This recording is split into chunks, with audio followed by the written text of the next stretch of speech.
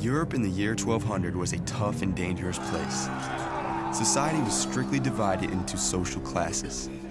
This system was called feudalism, and it governed the relationships between a lord or landowner and his servants. Wealthy and powerful noblemen called lords fought each other for control of the land and the people who lived on it.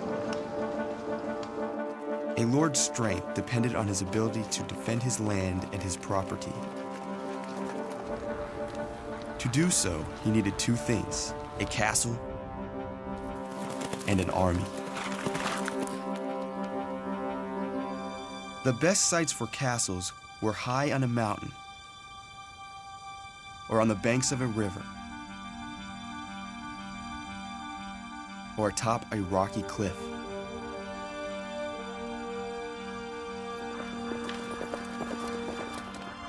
Attacking a castle built in one of these locations was difficult.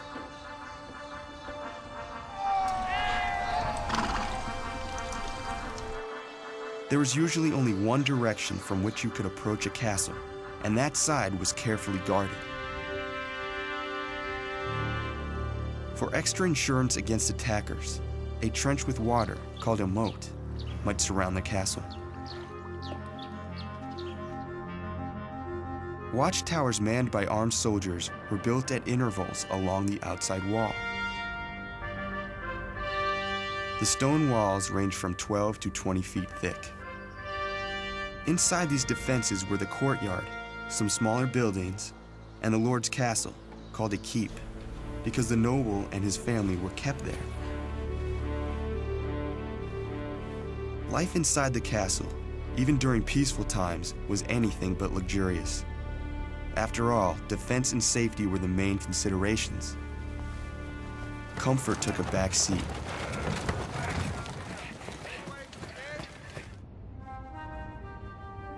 The building itself was cold and drafty.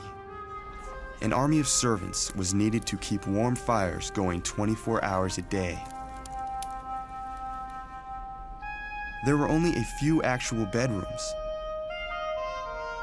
The Lord, his family, and often his servants shared one bedroom. Toilets were built into the outer wall and might end in a ditch or the moat. The kitchens were just a group of sheds in the courtyard. Food was unlikely to arrive hot at the table after being carried through the open air and up the drafty staircases. The center of activity in the castle was the Great Hall, a large open room where family and guests gather to conduct business or eat and relax.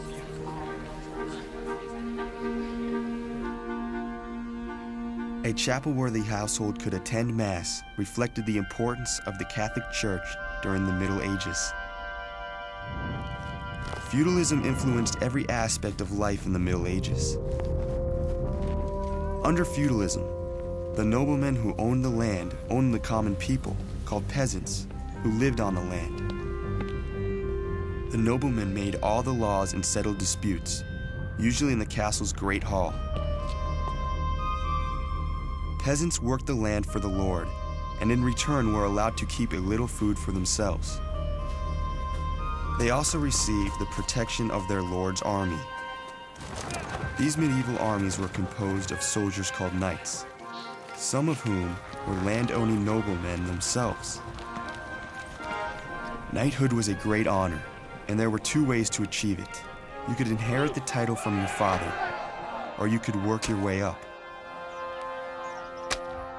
Either way, men trained for knighthood from the time they were young boys. A future knight learned to ride a horse, and he learned the rules of chivalry, including skill in arms, loyalty to his lord, generosity, courtesy, and service to God. At around age 13, he joined a noble's house as a squire, where he learned to use weapons and to care for horses and armor. Around the age of 20, the squire became a knight. During the 15th century, the Middle Ages gave way to the Renaissance, a rebirth of intellectual activity that led to new ideas about government and the role of the church. Feudalism collapsed, and the age of chivalry and shining knights became the stuff of legend.